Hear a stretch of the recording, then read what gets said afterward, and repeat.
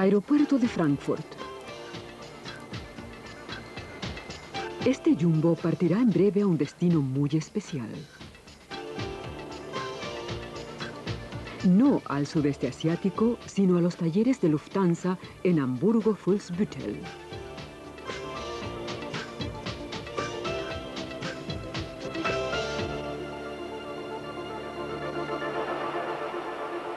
En Hamburgo le aguarda su primera revisión general, el D-Check. Se trata de una minuciosa revisión de piezas que, pasado un tiempo, se cambian periódicamente. Piezas que no hay que reparar, sino solo cambiar cuando han cumplido su ciclo. Esta revisión general puede además incluir otras medidas, por ejemplo, la renovación de la cabina, poner nuevas butacas y demás cambios que haya que hacer.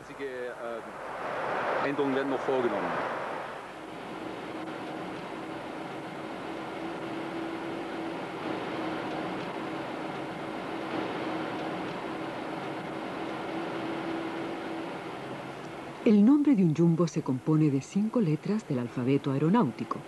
Este se llama Delta Alpha Bravo Victor November, abreviado Victor November. En la pista se vacían los tanques de combustible. El jumbo, de 65 metros de envergadura, se ubica al milímetro dentro del hangar, guiado por un remolcador de 500 caballos de fuerza. Desde hace más de 30 años, el Boeing 747 es el avión de pasajeros más grande, más pesado y más potente del mundo. Un cinturón de andamios de cinco pisos de alto ciñen desde la trompa hasta el timón de la cola al avión de 20 metros de altura. Durante cinco semanas, 200 mecánicos trabajarán en tres turnos para someter al Jumbo a una prolija y costosa revisión general. La cabina será totalmente renovada. Por lo pronto, hay que retirar las viejas butacas.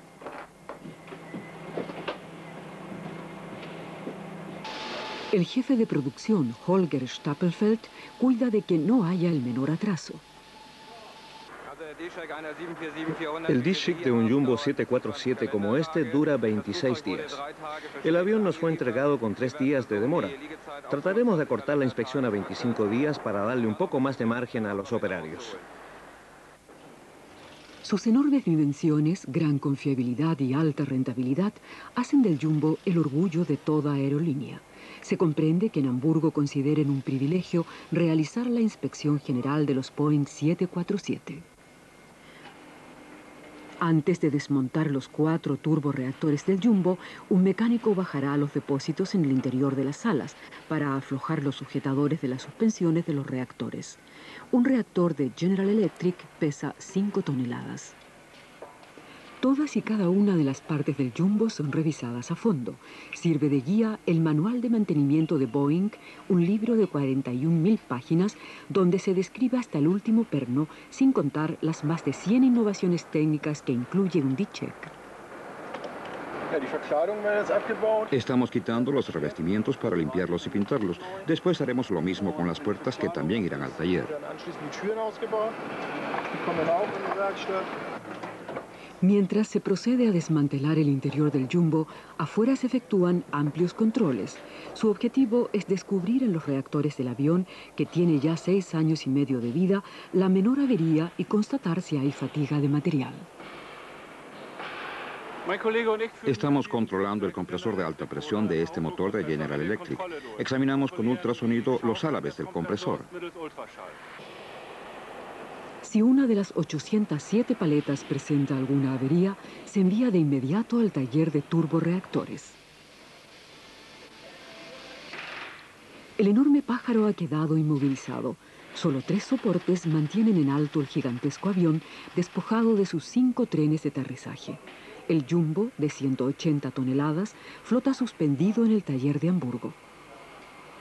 El jefe de producción, Holger Stapelfeld, aprendió en Lufthansa su oficio de mecánico. Es a la vez un técnico apasionado por la aviación y un celoso administrador. Aquí en Hamburgo estudié construcción de aviones. A principios del 86 me recibí de ingeniero.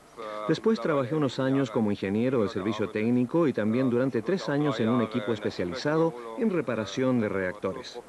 Hace poco volví aquí como jefe de producción a cargo de esta línea 11, encargada de la revisión general de los modelos 747 y A340. Cada mañana Holger Stapelfeld se reúne con los jefes de turno para discutir la marcha de los trabajos. Entre todos distribuyen las tareas según las distintas especialidades. Unos se ocuparán del fuselaje, la cabina y las alas, otros de la parte hidráulica y los elementos portantes, y otros más de la parte electrónica del jumbo. Fin de la primera semana. El jumbo ha quedado desmantelado y vacío. Las cocinas, asientos, baños y trenes de aterrizaje han ido a parar a los talleres vecinos. Lo mismo las ventanillas de la cabina. La radiación ultravioleta, los rayos y el granizo las han castigado duramente. Solo levantar el piso demandará cientos de horas de trabajo a mano. Una vez quitados los revestimientos del piso, los electricistas revisarán los miles de cables y conexiones eléctricas que recorren el vientre del avión. Metidos entre los largueros y travesaños que han quedado al desnudo, los mecánicos trabajan con trajes protectores y quitan el aislante de lana de vidrio y aluminio. Misma escena en la sección de carga. Los mecánicos abriéndose paso hacia la estructura del avión en busca de señales de corrosión. Los inspectores han detectado en 36 paletas del compresor fuertes rugosidades, producto de una tormenta de arena en pleno vuelo. Durante la noche, dos mecánicos desmontan las paletas que a la mañana siguiente serán amoladas, medidas y calibradas a la décima de gramo.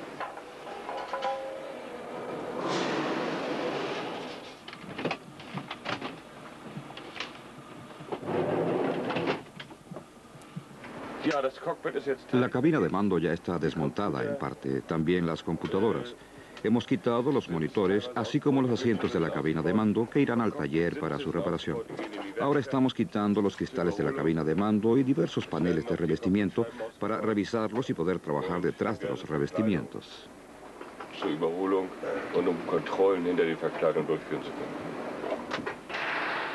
Cada una de las planchas de vidrio de la cabina de mando pesa 150 kilogramos.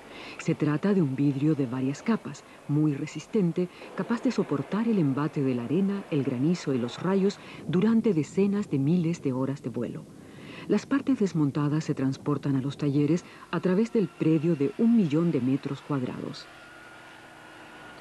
Con sus 8.000 empleados, Lufthansa Technik es la planta industrial más grande de Hamburgo. Solo en el taller de reactores, 300 operarios reparan 4.000 equipos diferentes. El reactor de un jumbo como el Victor November está formado por 38.000 piezas. Una pistola eléctrica de alta precisión pulveriza un aceite fluorescente que entra en las más finas fisuras del aro del reactor. A la luz ultravioleta, el titanio muestra incluso las grietas microscópicas. Una vez selladas las grietas en las paletas propulsoras, se las amola e introduce en la cámara de combustión. Durante cinco horas y a una temperatura de 1200 grados se endurecen al vacío. No obstante su elevado costo, para el cliente la operación es ventajosa.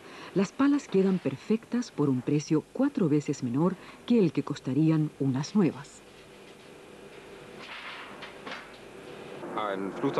Un avión como este Jumbo cuesta unos 120 millones de dólares. Una revisión general, un D-Chick, anda por los 3 o 4 millones de dólares en costos de personal y entre 750 mil y 1.200.000 dólares en materiales. Los tanques se orean durante dos días antes de que los mecánicos comprueben si hay escapes dentro de las salas. Apenas caben por las estrechas aberturas que los conducen a sus puestos de trabajo. La parte media del fuselaje y las alas del jumbo tienen capacidad para unos 220 mil litros o 180 toneladas de querosén, cantidad con la que podría llenarse una piscina de grandes dimensiones. Este es el área de dos reactores, por eso hay menos lugar que en el área de un solo reactor. Quiero decir que no hay mucho espacio para moverse. Además, durante el vuelo todo está lleno de combustible. Nuestra tarea es controlar la hermeticidad, la corrosión, las grietas que pueda haber, si todo está en su sitio y sí, es un trabajo bastante complicado.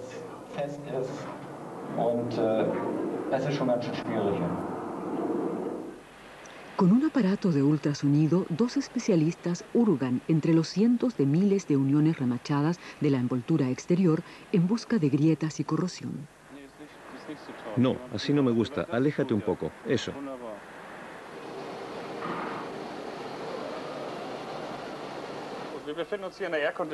Nos encontramos en la sección de aire acondicionado del 747. Aquí se climatiza el aire que ingresa por los reactores.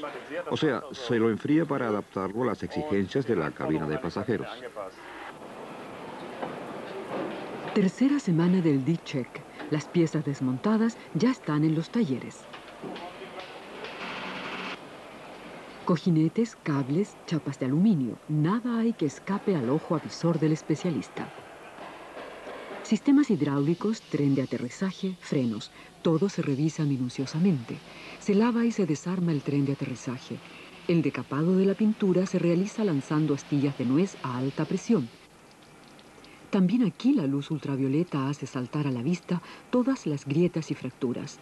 Lufthansa Technik de Hamburgo cuenta con una de las plantas de galvanización más modernas del mundo.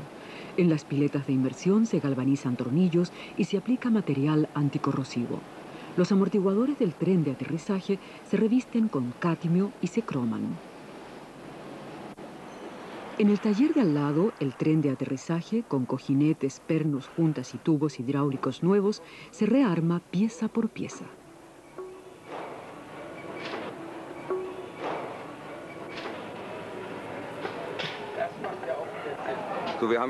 Hemos llegado a la mitad de la revisión general. La cosa marcha bastante bien, aunque hemos hallado algunas cosas que afectan las estructuras.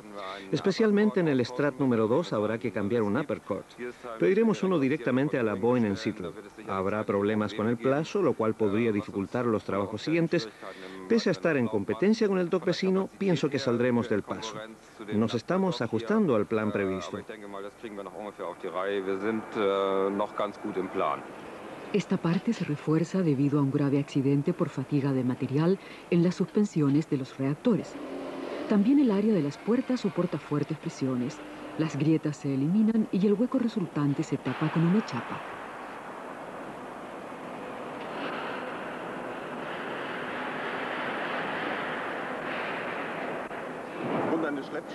Por un accidente durante el remolque quedaron dañadas la trompa y la estructura oculta detrás. Ahora estamos reparando la estructura. Mejor dicho, estamos remachando el péndulo superior. Eso es lo que estamos haciendo.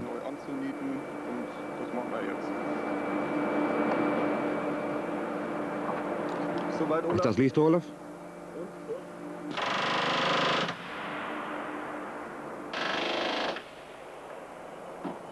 A fin de evitar retrasos, se trabaja también de noche. A las 2 de la mañana se empieza a pintar los marcos de las puertas para que el personal de la mañana no se vea expuesto a los vapores tóxicos.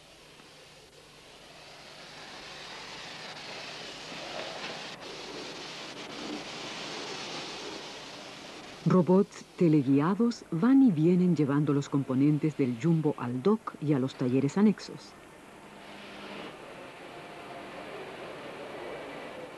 En el taller de butacas se revisa cada uno de los 366 asientos ultramodernos del Jumbo. Deben poder soportar un peso nueve veces mayor que el de un pasajero normal. También se revisa el mecanismo electrónico en brazos y respaldos, así como las fundas y los chalecos salvavidas, cuyo uso se enseña al comienzo del vuelo. Al final de la tercera semana se procede al reensamblado, las 196 ventanillas del Victor November reciben juntas nuevas. Los cristales se atornillan a los marcos de las ventanillas. Solo al volar el avión se vuelven herméticas por efecto de la presión en la cabina. Portaequipajes, cocinas, cabinas, paredes y baños están hechos de un material extra liviano y muy resistente. Por su estructura, parecida a un panal de abejas, recibe el nombre de honeycomb. Los daños de menor cuantía se rellenan con masilla, se alisan y recubren con pintura o una decoración nueva. Jörg Martin de Lufthansa Technik es un experto en electrónica con años de experiencia. Mi trabajo consiste en realizar controles funcionales y trabajos de renovación. O sea, optimar, reconstruir y ver si todo anda bien. En el área de las azafatas se aclara el misterio de la caja negra. El registrador de vuelo graba cientos de datos, entre ellos posición y velocidad. Una grabadora registra todo lo que se dice en la cabina de mando. La caja negra no es negra, sino naranja para que sea bien visible. Un avión moderno como el Boeing 747-400 lleva a bordo muchos millones de dólares en equipos electrónicos. Los indicadores electromecánicos y los relojes analógicos han cedido su lugar a la pantalla compacta. El instrumental de vuelo y las computadoras vuelven a la cabina de mando con toda clase de mejoras. Al mismo tiempo, vuelven del taller los cinco trenes de aterrizaje. En una operación calibrada al milímetro, las 18 ruedas con cojinetes nuevos son introducidas en sus ejes y atornilladas con precisión matemática al lado mismo del jumbo. Ya reparado, el tren de aterrizaje viaja sobre una plataforma elevadora de vuelta a su gigantesco compartimiento en la parte inferior del avión. Sin enredarse ni una sola vez, el tren de aterrizaje atraviesa la maraña de tuberías y conexiones hidráulicas hacia su destino final. Tras un sinnúmero de controles y pruebas, las suspensiones de los turboreactores y luego los reactores mismos reciben el visto bueno de los técnicos. Un grupo de expertos coloca en posición al primer reactor. Lentamente la gigantesca mole es conducida por una grúa a control remoto a su lugar de destino. Solo cuatro pernos de titanio del grueso de un pulgar unen el reactor con el jumbo. Con sus 26 toneladas de empuje, el reactor tira del avión. Dirigir tamaño proyecto exige una total dedicación y una enorme cantidad de horas extra. Un perfeccionista como Holger Stapelfeld de vez en cuando sacrifica un fin de semana en aras de su trabajo. Soy el responsable de todo lo concerniente a los trabajos, de que se entreguen en el plazo previsto y sobre todo de que no excedan los costes establecidos. También debo velar por el personal, por la estricta observancia de todos los aspectos relativos a la seguridad laboral, etc. Todo esto entra dentro de mi esfera de competencia. Es una sabia mezcla de actividades que suele ir en detrimento de la vida familiar. Detrás de la cabina de mando está la cocina para los 16 asientos de lujo de la primera clase. La cocina semi-redonda atraviesa a duras penas la angosta puerta hacia su lugar en la corcova del jumbo. En las puertas y debajo de los baños se colocan paneles sintéticos contra la humedad.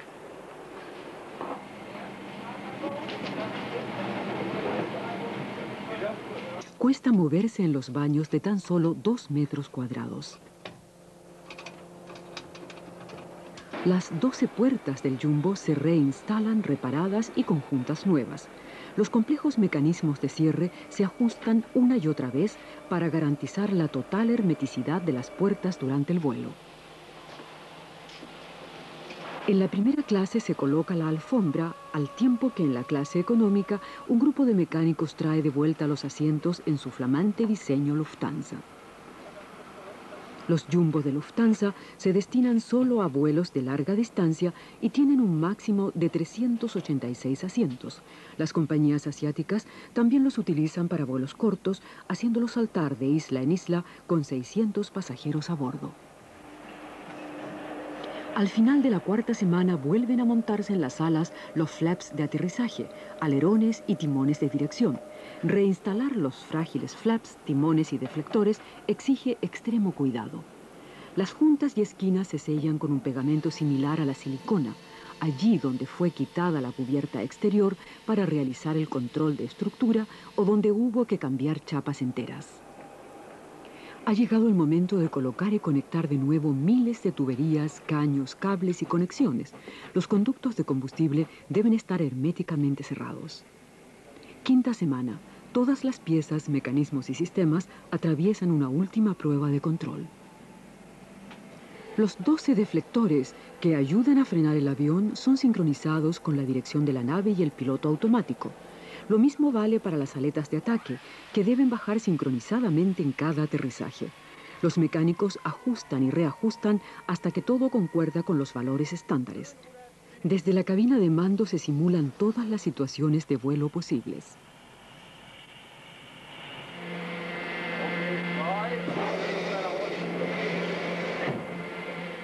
El control final dirá si todo está en regla. Los inspectores examinan el trabajo hecho durante las cinco semanas. Luego dan luz verde para que el jumbo vuele otra vez. El visto bueno incluye el ultrasensible radar meteorológico, capaz de establecer el estado del tiempo en un radio de 350 kilómetros. Me ha tocado trabajar aquí adelante en la trompa del Jumbo. La hemos tenido que cambiar debido al impacto de tantos rayos, como también de aves y toda clase de objetos voladores. Quedó tan averiada que tuvimos que cambiarla. Ya no podía ser reparada. Al menos no aquí y en tan poco tiempo.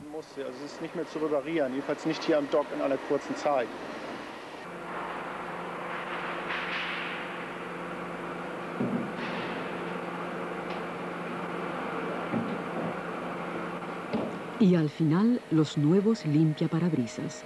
Su sofisticado mecanismo permite que aún a mil kilómetros por hora el piloto goce de perfecta visibilidad. Las 180 toneladas del Victor November siguen reposando sobre los tres gatos hidráulicos. Así se podrán inspeccionar los cinco trenes de aterrizaje.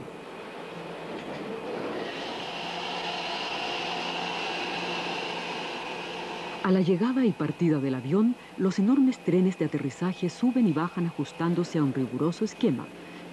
También las aletas del tren de aterrizaje deben moverse sin inconvenientes. Como en un ballet mecánico, las patas de la nave vuelven a ocultarse en el fuselaje. Han pasado 35 días y el enorme pájaro es puesto en libertad en el turno de la noche. Todo ha ido a la perfección. El plan de trabajo y la logística de decenas de miles de piezas de repuesto elaborados por el Departamento de Producción, Desarrollo y Planificación han funcionado a las mil maravillas. Al cabo de 56.000 horas hombre, el Victor November se alza otra vez sobre sus propias ruedas con solo un día de retraso. Un mayor retraso hubiera significado para Lufthansa Technik una multa contractual de miles de dólares diarios y para la aerolínea 120 mil dólares más por concepto de intereses y lucro cesante. La revisión general ha concluido. Aquí estamos frente al hangar y el avión carga combustible. Hoy se le hará la prueba de reactores, lo que en Hamburgo es algo más costoso. Después lo llevaremos hasta el extremo de una pista de aterrizaje. Esta noche irá de vuelta al pabellón y mañana será el vuelo de prueba. Estoy muy conforme con el trabajo. La prueba de reactores consiste en hacer andar los cuatro turboreactores al máximo de su potencia de despegue. Un piloto de larga experiencia iniciará el vuelo de prueba, someterá al jumbo a situaciones límite y en el Mar del Norte lo llevará al borde de su capacidad.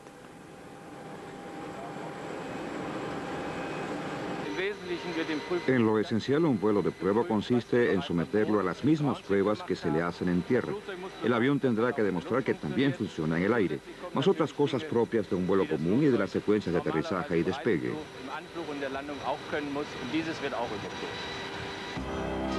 El Victor November rueda majestuoso sobre la pista del aeropuerto de Hamburgo. Victor November, Victor November, Roger, wind 280, 1 for knots, circuit for takeoff on May 18.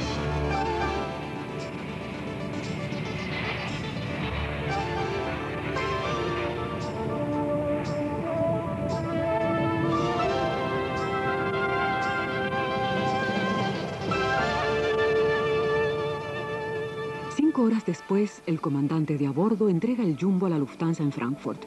Hace ya tiempo que el Victor November está registrado para un vuelo nocturno a Singapur. El personal prepara las bebidas de bienvenida a los pasajeros. Nadie notará que el jumbo ya tiene seis años y medio de vida porque tras cinco semanas de completa renovación ha sido retornado a cero horas de vuelo. En otras palabras, como recién salido de fábrica.